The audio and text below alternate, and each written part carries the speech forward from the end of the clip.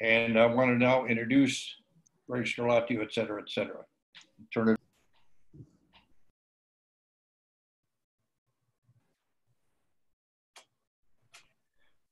Good afternoon.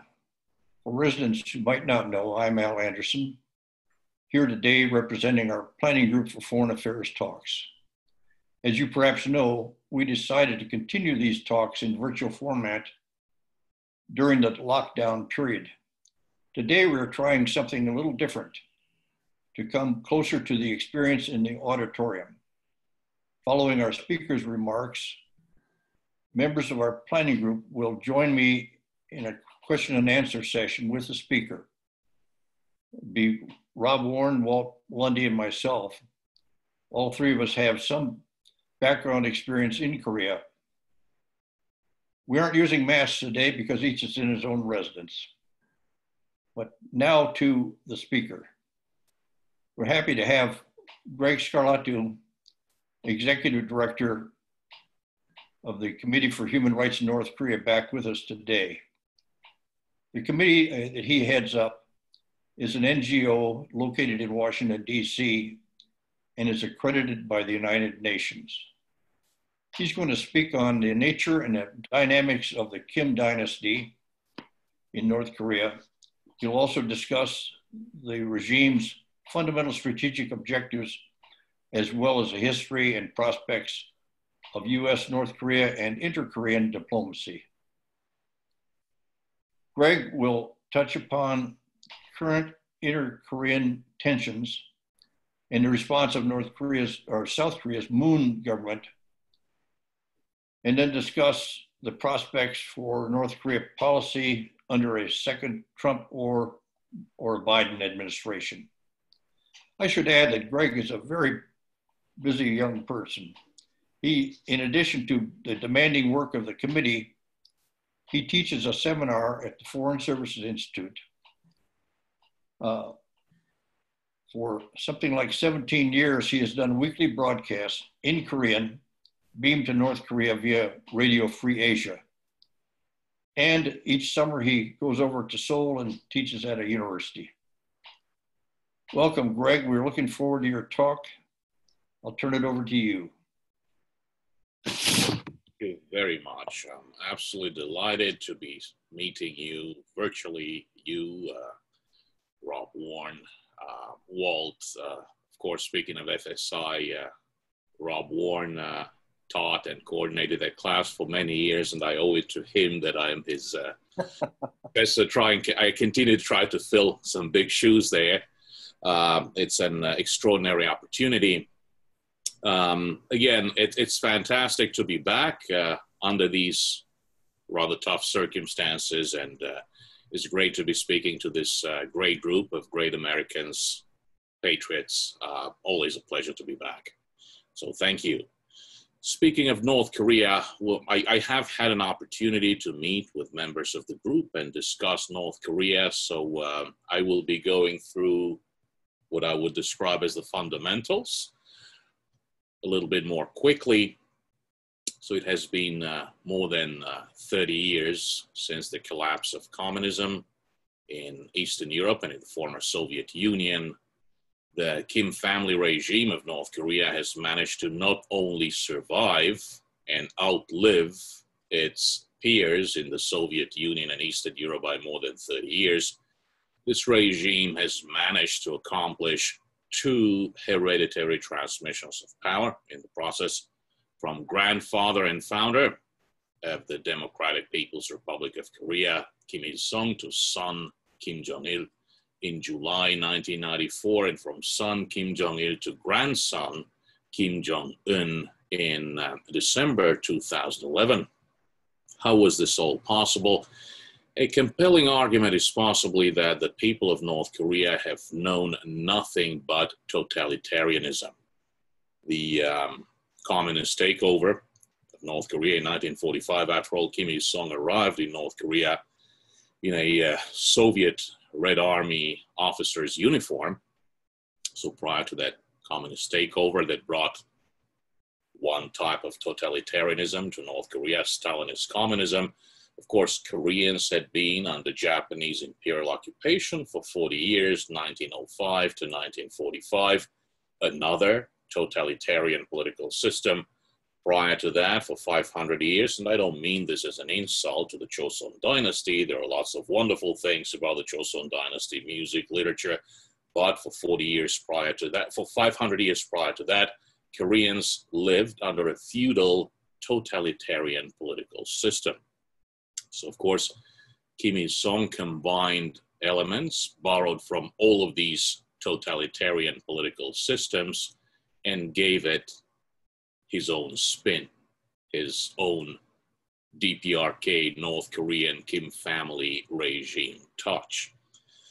So, um, very early on, Kim Il sung realized that he had to deal with the so called enemies of the revolution, were those who had been involved with the, the Japanese administration during the Japanese occupation period, landowners, entrepreneurs, people of religious beliefs. And of course, we, I'm preaching to the choir here, we all remember that the northern half of the Korean peninsula uh, was the cradle of the Korean Presbyterian Church.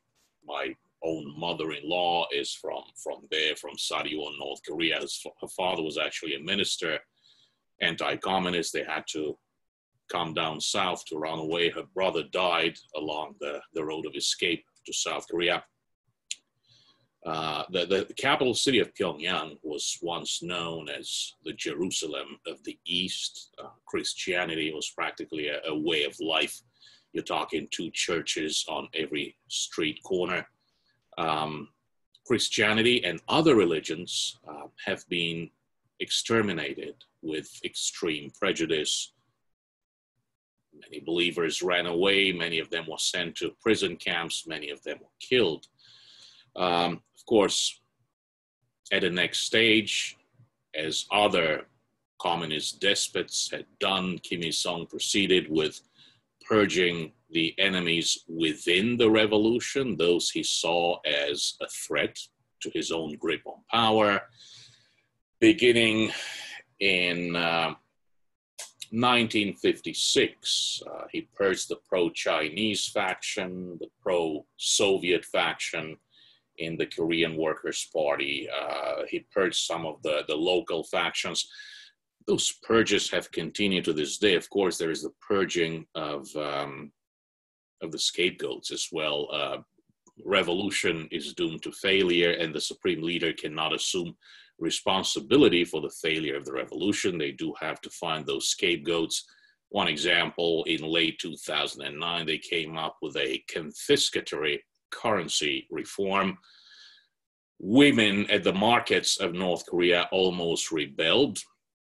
They almost ended up with a rebellion on their hands. People were burning banknotes, throwing banknotes into rivers, which is a very big deal because you guessed the face of Kim Il sung was on, on, on those banknotes.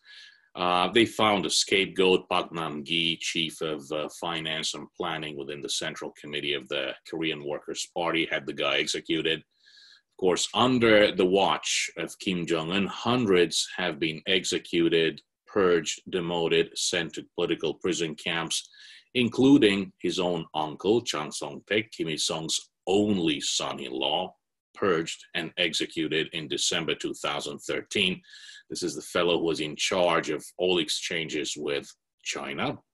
He had his own half brother, Kim Jong Nam, a brother from another mother, uh, Song Hye-rim, um, assassinated with a weapon of mass destruction, VX nerve gas, at a very busy international airport in uh, Kuala Lumpur, Malaysia. Um, so, of course, uh, the system has operated as a very ruthless system since the days of Kim Il sung. As we all know, the Kims have not been irrational actors within the world of North Korea. They actually act as rational actors that execute a fundamental set of strategic objectives. Of course, strategic objective number one is regime survival Of course, all political systems try hard to survive, including ours. Of course, in this case, the problem is that this is a, a regime that, according to a February 2014 report by a UN Commission of Inquiry, led by um, Australian Judge Michael Kirby, according to that commission, this is a regime that commits crimes against humanity. The UNCOI, the UN Commission of Inquiry, further recommended that uh, these crimes against humanity be referred by the UN Security Council to the International Criminal Court. Of course, that is a very complex proposition. China, Russia are P5 permanent members of the UN Security Council, likely to exercise their veto. Um, our own relationship with the ICC has always been a troubled and complicated one, even more complicated under the current circumstances. The, uh, the second strategic objective um, is going to sound preposterous, but uh, although our work uh, as a North Korean human rights organization is, I'm going to say Wilsonian, and let's take the, the good parts of President Woodrow Wilson. We're all aware of um, the controversy at Princeton, Rob. Um, but from an IR theory perspective, after all, as a human rights organization, um, we are um, basically proponents of a uh, liberal view of international relations where we hope that we will finally persuade this regime of the Kim family to comply with the obligations it, had, it has assumed under international law and under its own legislation.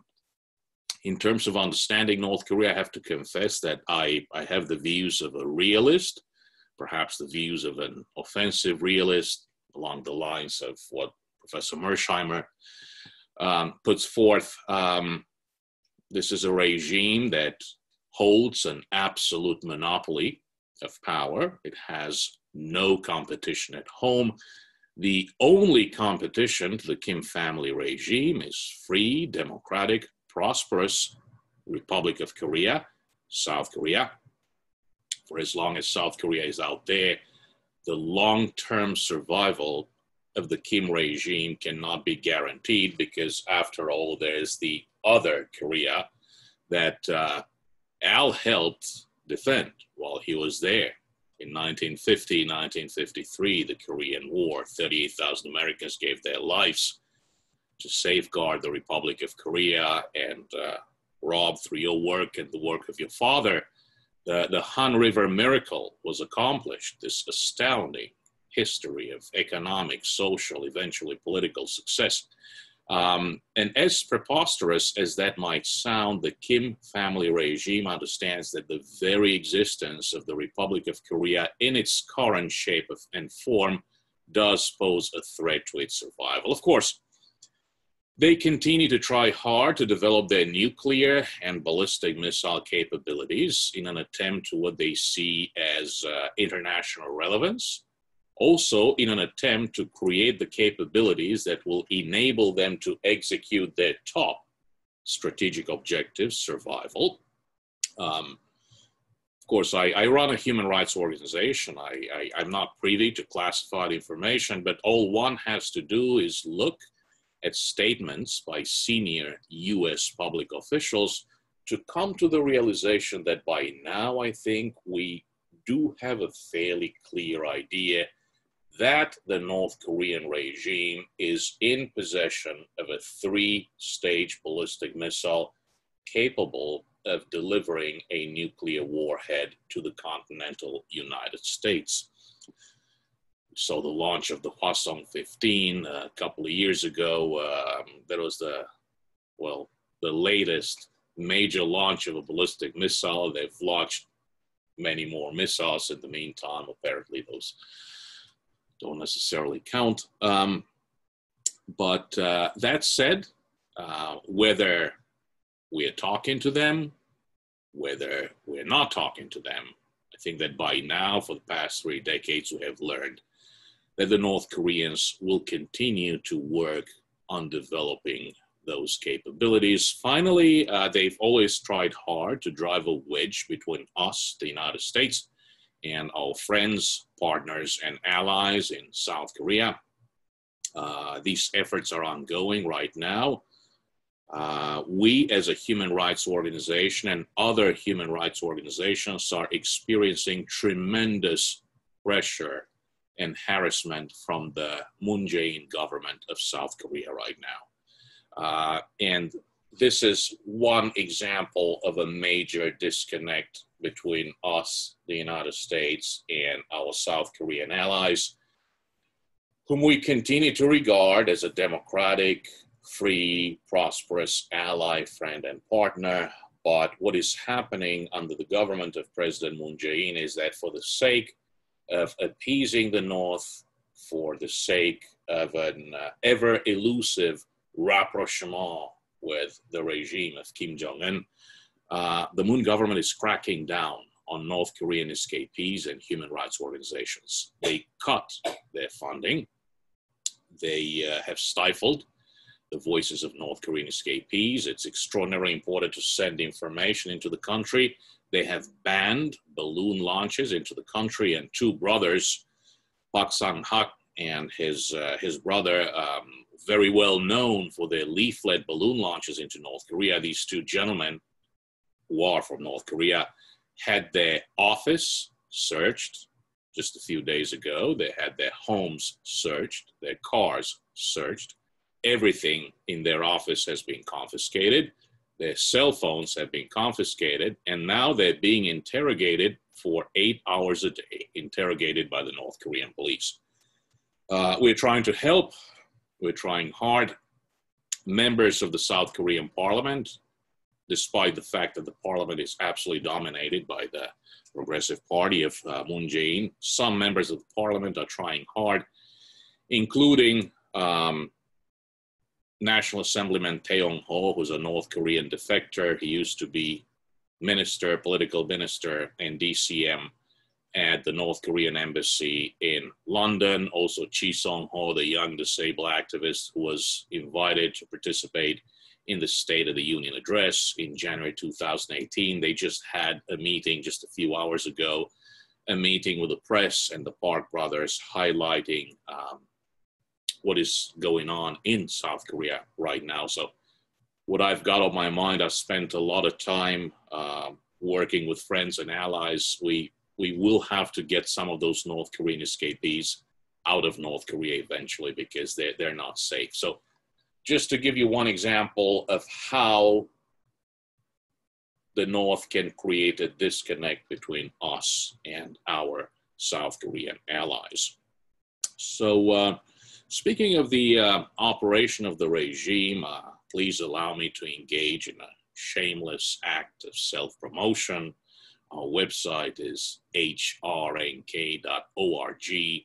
If you go to publications on our website, um, you should be able to see a report authored by Robert Collins on the Organization and Guidance Department, the OGD. Now, of course, in North Korea, there are four fundamental building blocks of the regime the inner core of the Kim family, the KPA, the Korean People's Army, 1.2 million men and women in uniform, 80% of them forward deployed south of the Pyongyang Wonsan line, uh, poised to invade the south.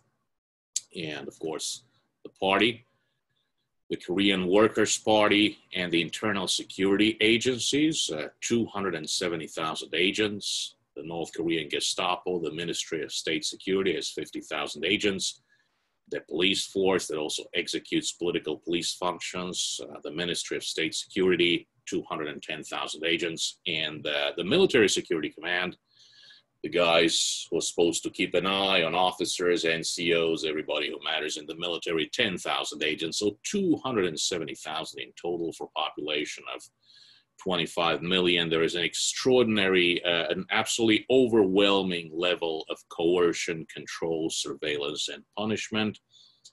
Um, neighbors have to report on neighbors, family members have to report on family members. Um, basically, people participate in weekly self criticism Saenghwal Chonghwa sessions where they have to confess to their sins, there is a certain uh, religious element associated with the operation of the Kim regime. There, there are these godlike figures, the Kims, they've been embalmed and kept at uh, their mausoleum at the uh, the Kumsusan Palace downtown Pyongyang. Uh, they're dead, but they're eternal leaders, especially Kim Il Sung of North Korea. There's heaven, the capital city of Pyongyang, where most of the elites live. There's hell, there is an inferno, the inferno of the political prison camps 120,000 men, women, and children. Those are basically the non believers, those who do not believe in the Kim family cult. So there are weekly ideological training sessions, mass. There is confession. Uh, during these sessions, everyone has to confess to his or her trespasses over the previous week. Uh, so the, the quasi religious nature of this regime is quite interesting.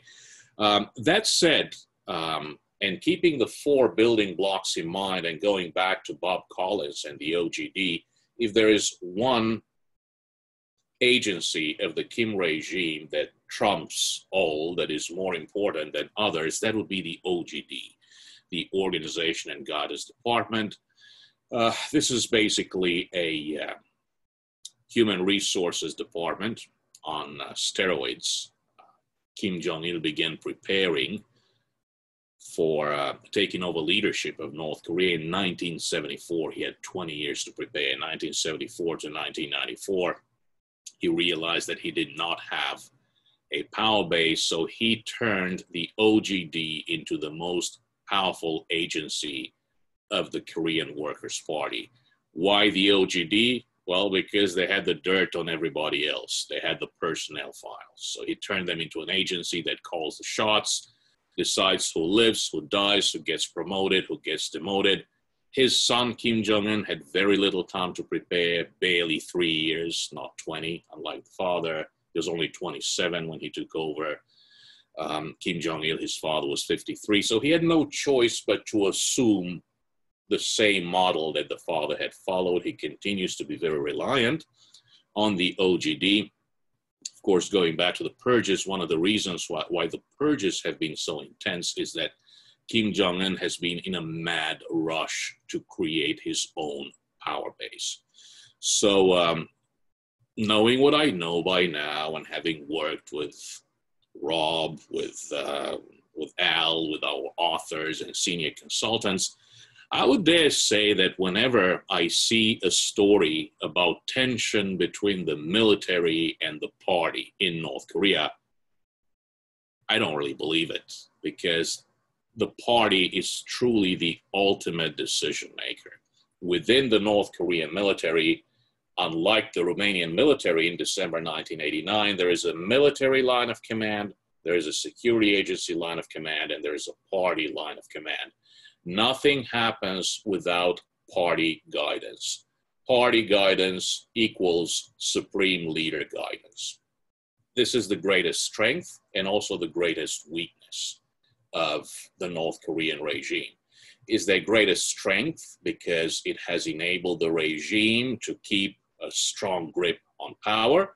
It is their greatest weakness because they will always be slow to react to unforeseen circumstances.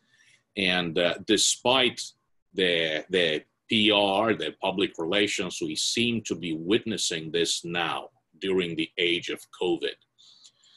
This is a, a, country that shares a very long border with China, only 17 kilometers of border with uh, the Russian Federation, the rest with China it's a country that's sandwiched between China and South Korea, both countries that have had COVID cases. The South Koreans have handled COVID remarkably. It's unthinkable that there would be not one patient, not one COVID case in North Korea, and yet this is what uh, the regime claims that is happening. Again, going back to our website, I apologize. Uh, a few weeks ago, we had a very interesting insider article authored by a former, very senior North Korean official who defected and, and authored this article for us. explaining why it makes absolutely no logical sense at all to believe the North Korean government propaganda that there is practically no COVID in the country. Um, we continue to deal with the same conundrum. The North Korean regime has not given up those fundamental strategic objectives. And uh, of course, as a, a student and practitioner of diplomacy, I will never ever speak against diplomacy especially while meeting with this august and distinguished uh, audience, uh, there have been multiple efforts under multiple administrations to deal with the North Korean conundrum. During the Clinton administration, we had uh, the Geneva Agreed Framework, which was, uh, well, a, a viable and very interesting model for, for tackling the, the North Korean conundrum. Regrettably, the, the North Korean regime decided that, well, the Geneva Agreed Framework was dealing with a plutonium program. They, they developed a clandestine uranium enrichment program, got caught eventually. Then we went back to a, a different framework under the Bush administration, the six party talks. That didn't work out either.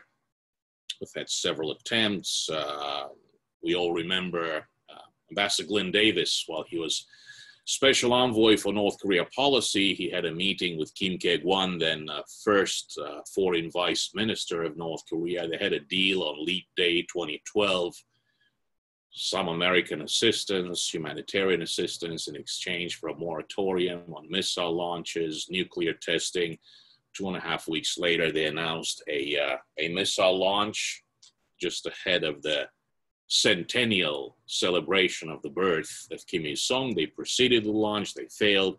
In December the same year, they managed to place an object into orbit. Um, under the Trump administration, uh, we experimented with a tool that had never been used before. The summit meeting there were three summit meetings between uh, President Trump and Kim Jong un in uh, Singapore, in Hanoi, and, uh, well, okay, a shorter quasi summit meeting in Panmunjom when the two met. Um, I think that those who were in the know from the very beginning um, knew that not much could come out of it short of uh, us, the United States, acquiescing to uh, to North Korean demands. Uh, the, the conundrum, the, the big issue that we continue to face is that, well, here in the United States, when we learn our conflict resolution, we talk about the, the ZOPA, the zone of possible agreement. That's where the two sides meet. There is there's no ZOPA with North Korea. Um, North Korea refers to the denuclearization of the entire Korean Peninsula, a term that we have regrettably adopted uh, in uh, recent years, over the past couple of years. Uh, as this distinguished audience knows, there are no nuclear weapons in South Korea. Uh, tactical nuclear weapons, low yield tactical nuclear weapons were removed from North Korea in the early 1990s. Ambassador Donald Gregg, I believe, is the one who, uh, who proceeded with that initiative at the time was involved. Uh, so when, when the North Koreans refer to the denuclearization of the entire Korean Peninsula, there are no nuclear weapons in South Korea. What they really have in mind is the dissolution, the termination of the U.S.-South Korea alliance, removal of U.S. forces Korea from the Korean Peninsula, uh, and the removal of South Korea from the protection of our U.S. nuclear umbrella when we refer to denuclearization, what we have in mind is uh, CVID, complete, verifiable, irreversible denuclearization. These days, under the current administration, it's FFVD, full, final, verifiable denuclearization. Basically, what we tell the North Koreans is that they have to denuclearize first in verifiable fashion in order for us to consider normalization of diplomatic relations. That, that's a, a really, really difficult task. We are dealing with a totalitarian regime that ensures no transparency.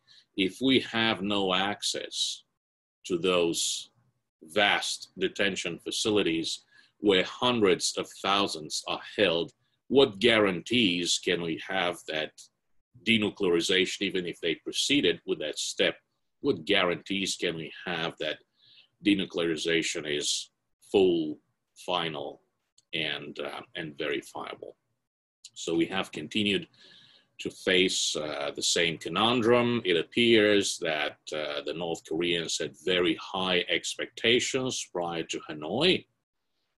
Perhaps they were expecting a lifting of uh, UN sanctions meant to do away with North Korea's nuclear and uh, missile program and potential proliferation, also meant to punish the elites in charge of the development and proliferation of nuclear weapons, ballistic missiles, weapons of mass destruction.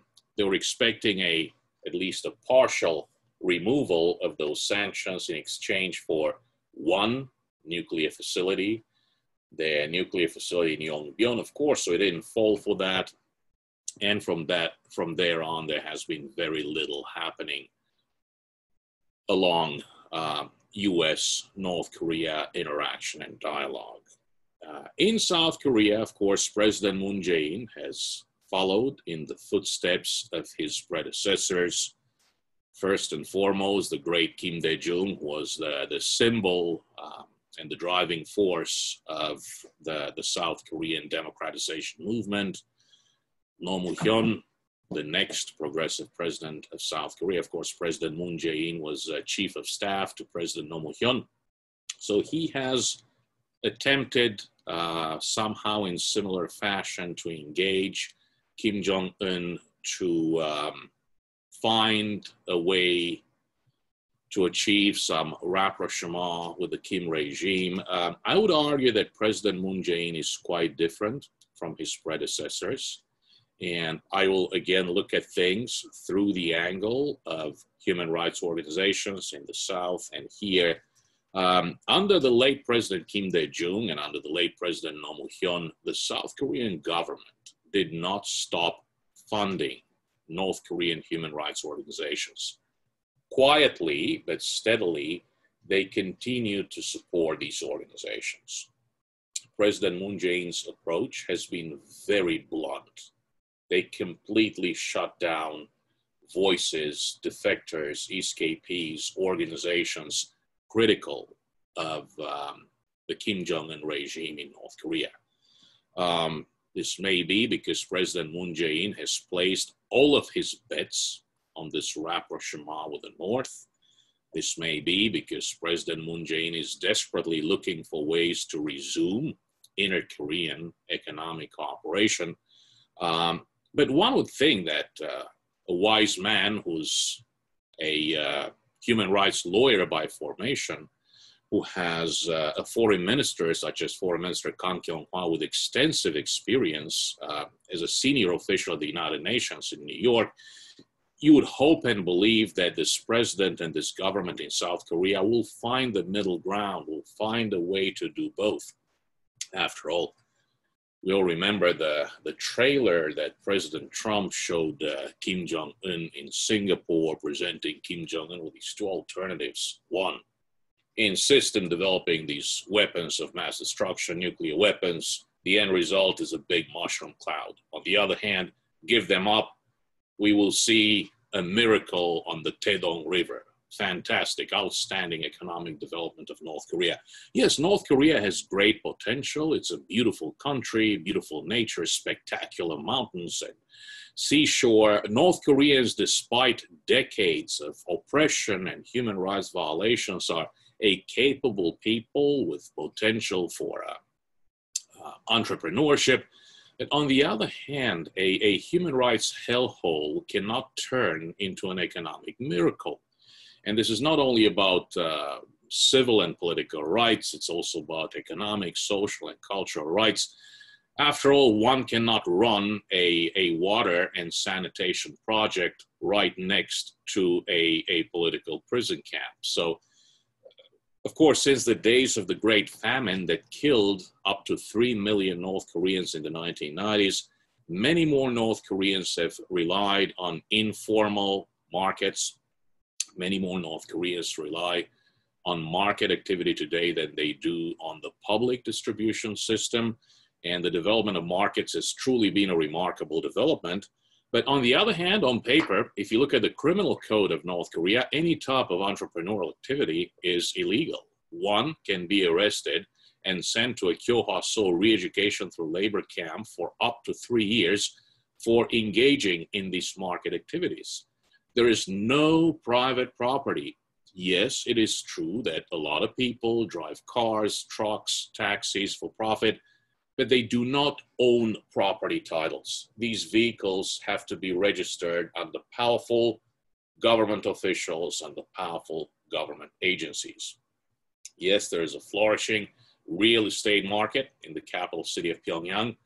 Apartments change hands for up to $200,000, and yet people do not trade property titles. They don't have them. They simply trade residence rights. The only things you own in North Korea are the things inside your home. So, beginning with property rights and continuing with freedom of association, freedom of expression, and all other fundamental human rights and core labor rights, North Koreans really need that in order to join the international community in the 21st century in order to prepare for Korean unification. I will argue that um, moving forward, we will come to the realization that perhaps well, strategic patience was an approach that might somehow make sense while we enhance containment,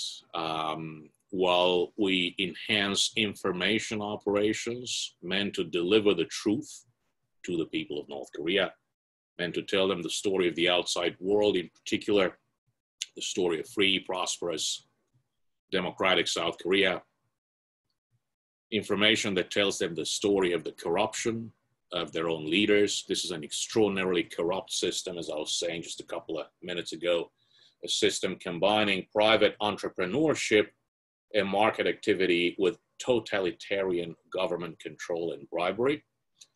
Um, and perhaps the, the, third important story that has to be told is the story of uh, the Korean people's, the North Korean people's human rights. They have to understand that they have rights pursuant to uh, international human rights conventions that North Korea has adhered to, pursuant to the, uh, the Universal Declarations of Human Rights. North Korea is a UN member state and pursuant to North Korea's own legislation, North Korea's constitution, also available in English on hrnk.org. Um, there are wonderful uh, human rights that are actually included in the very constitution of the DPRK freedom of expression, freedom of association, freedom of religion. That's only on paper, none of that is observed. So, moving forward to a uh, Biden administration or a second Trump mandate, if I were to guess, um, I would say that it is very likely that we will revisit an approach that factors in human rights more prominently under either one of those scenarios. Um, a Biden administration would be very likely to return to the Obama model. We used to have a special envoy for North Korean human rights. Perhaps many of you will agree that we had too many special envoys, but if there's one that we really need, that is the, the special envoy for North Korean human rights.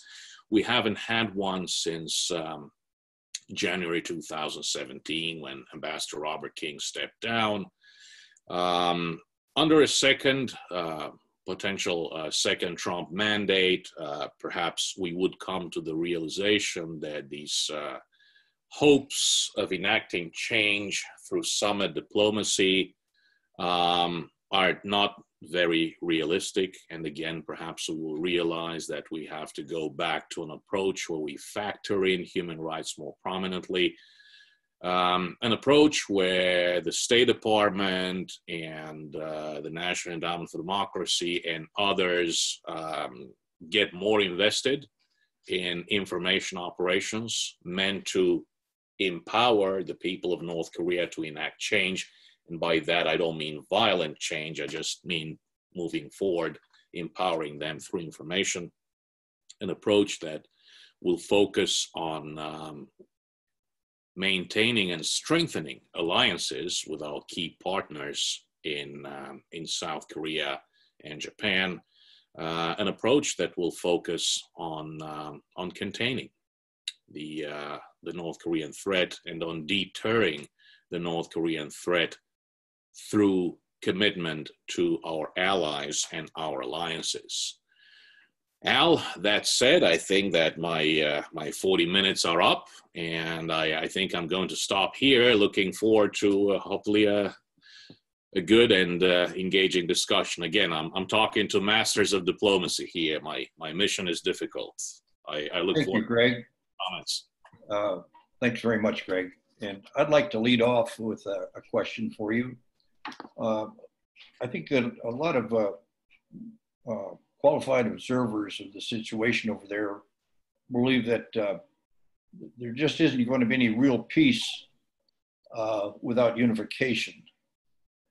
And given that, and it's well known that uh, the Kim dynasty is determined that they will lead that unified Korea.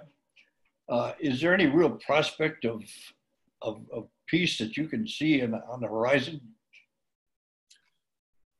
Well, uh, it's um, truly difficult to make a prediction. I think that you're absolutely right. We we need to get serious about peace through reunification of the two Koreas, but the only model that's conceivable, in my view, is reunification under a democratic, prosperous, capitalist, market economy oriented Republic of Korea.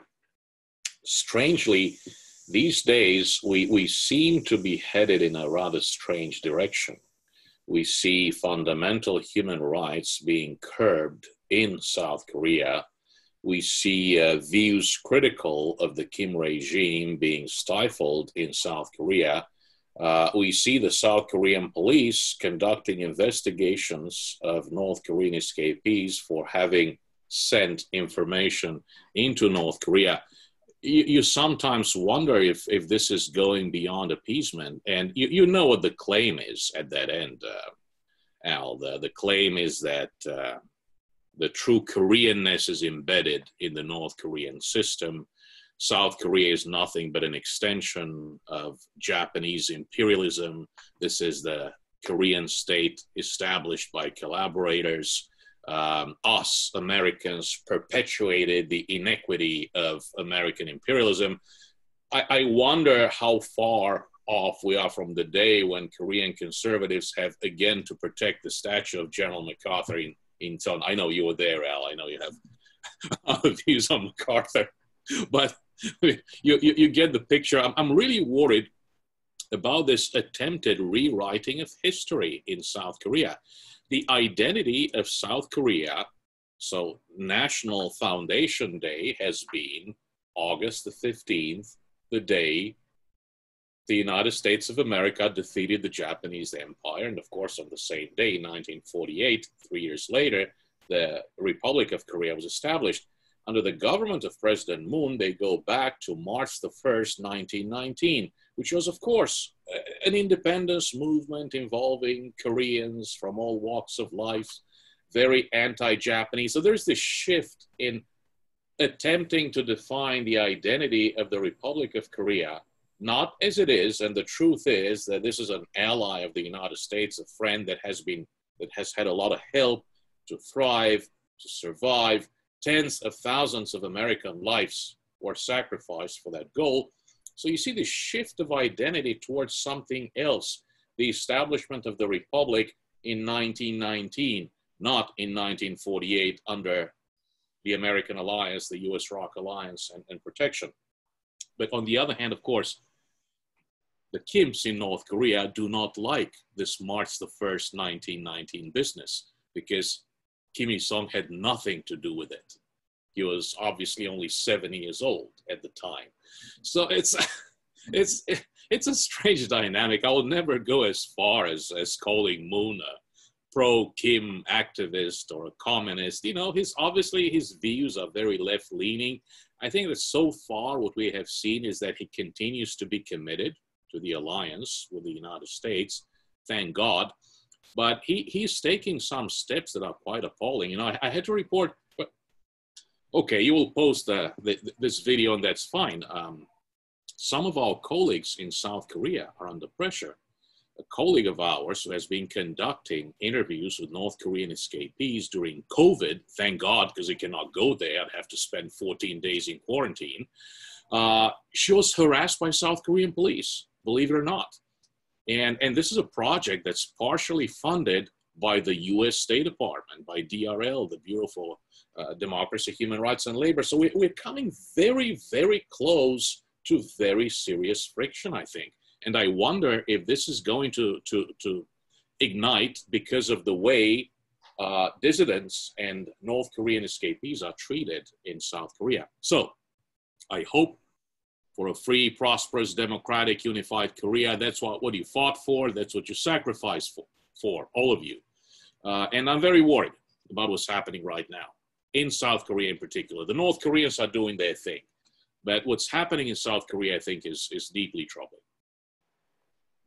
Thanks, Greg. That's very informative. Now I think it's Rob, it's your turn to pose a question, if you will. Yes, thank you, uh, Greg. I want to thank you for a good exposition. I certainly agree with your themes. I'd like to say that we have an unusual situation regarding the Koreas today. You mentioned early on in your remarks that North Korea has developed a ballistic missile, admittedly it has been fully tested, that's capable of reaching the United States perhaps with a warhead. The question is, this is a very critical issue for the United States. The Trump administration has taken the position They've had three summits now with the Kim Jong Un, and uh, indeed, uh, the one that was most important was the one in Hanoi that had a breakdown.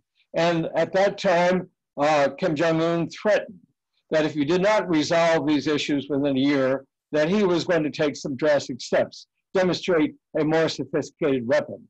Now it's a year and a half after the Hanoi breakdown, and uh, you still haven't had this type of threat delivered what is going to happen?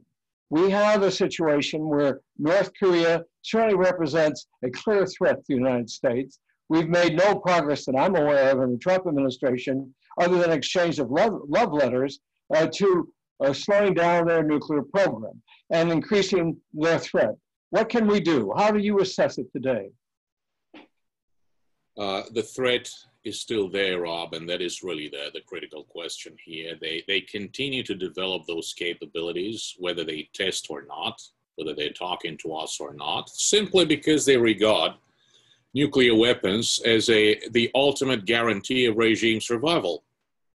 And of course, they've learned, well, I would say, the wrong lessons from the Middle East, where you see uh, despots such as Gaddafi or Saddam Hussein who gave up their WMDs and ended up being, uh, in Gaddafi's case, I'll say, sodomized and killed on camera.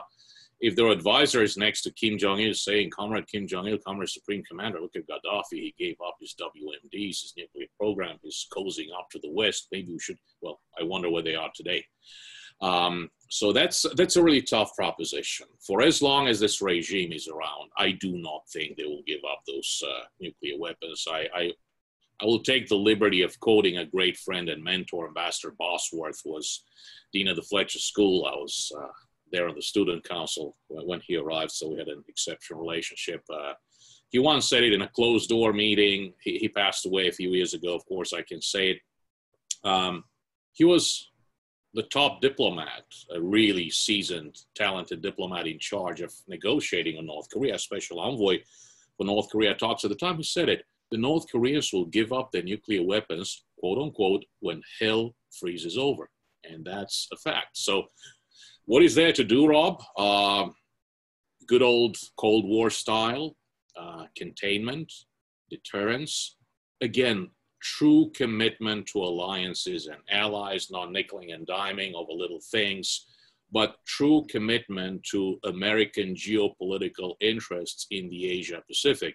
If we prove incapable of dealing with a rising minor nuclear power such as North Korea, what are we going to tell our Eastern European NATO allies, the Baltic countries, the Poles, the Romanians, about our capabilities to deter and contain the Russian threat that's ever present and, and ever clear uh, each and every day. So, containment, deterrence, commitment to, to real information operations, not half hearted efforts to mimic Cold War efforts that were once very successful. I was there, I was at the receiving end. So I really think that this is the only answer because they're, they're really not going to voluntarily give up those capabilities. In terms of inter Korean relations, of course, President Moon and his government would be very happy if we granted some exemptions allowed them to resume inter-Korean economic cooperation because he's desperate. He has placed all of his cards on this bet. But I would argue that that cannot happen without transparency, without real people to people contacts, without the opportunity to actually change hearts and minds in, uh, in North Korea. Now, Kim Dae Jung was good about this, in my personal view.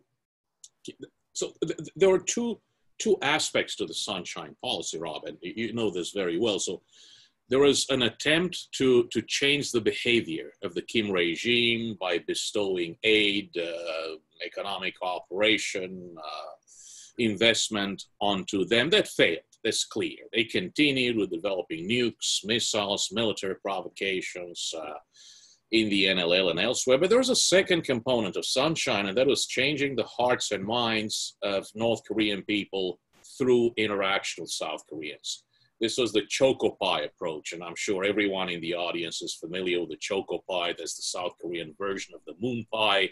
It was given to workers at the Kaesong Industrial Zone established for South Korean capital, know-how, uh, managerial know-how, and North Korean labor. They received it for uh, for dessert, and they were so popular that they would resell them at the the, the open markets of, of, North Korea. That that approach, honestly, I really think did not have enough time to be tested, and uh, I doubt that that that side of sunshine will ever have a chance to be uh, to be tested again. Now, we all know our history. Korean dynasties tend to be very resilient. And the, the Kim dynasty in the north uh, also seems to be very resilient. And they, they adapt. We, in December of last year, we published a report, Rob, on the, the information environment of North Korea. Of course, we send information into North Korea. We should be doing better in terms of content, technology, but they're also responding by employing new technologies, by developing new content, and by applying judicial and extrajudicial punishment to prevent their own people from accessing information from the outside world. It's an abomination that in the 21st century, they only have 2,000 IP addresses for 25 million people, but this is still ongoing in North Korea. Um, so, again, going back to the big threes information, containment, deterrence, maybe I'm a victim of my my own training in IR. I've had part of it here in the United States, part of it in South Korea, but uh, I, I, I doubt that we, we we can see more imaginative approaches. Talking is great, diplomacy is great, and of course, one has to be prepared. Uh, if you are present there, ready to shake hands. I mean, you know this better than me. All of you things have to be lined up and ready and prepared and technical experts have to have worked on the relevant issues. The, the two leaders, as unpleasant as Kim Jong un is, I'll call him the, the other leader, um, the two leaders meet, but they cannot discuss the details of a denuclearization program because they don't know them. There's a lot of work that has to go into that. Okay, uh, thanks, Greg. Now, Walt, if you can unmute and show us, uh, are you ready with your question, please? It is almost incomprehensible that Korea, that North Korea is completely isolated, completely cut off from the real world with a country, the same language, the same heritage, the same people, just to the south of them. They have almost obtained a Western standard of living. South Korea, the Republic of Korea, has made it. Even in the current environment, is there not enough leakage of information about the better life in the South?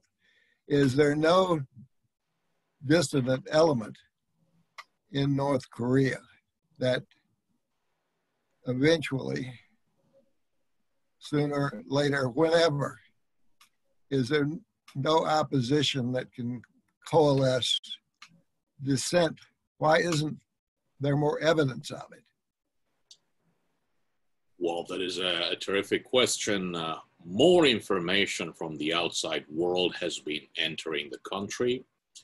According to surveys executed by Intermedia, a company tasked to assess the efficiency of US public broadcasting to North Korea, Voice of America, Radio Free Asia, for South Korean stations, we fund stations staffed with North Korean escapees. According to these studies, the number of North Korean escapees, the percentage of North Korean escapees who state that they used to listen to foreign broadcasting, they used to access information from the outside world on USBs, micro SD cards, mobile data storage devices.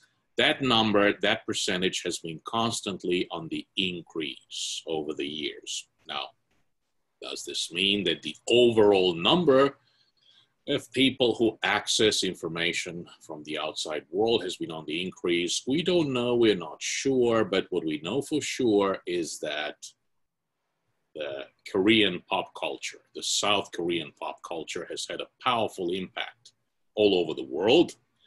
South Korean soap operas, South Korean pop music, South Korean entertainment and there have been times over the past few years when the North Korean regime had to crack down on hairstyles inspired by South Korean soap opera and South Korean culture.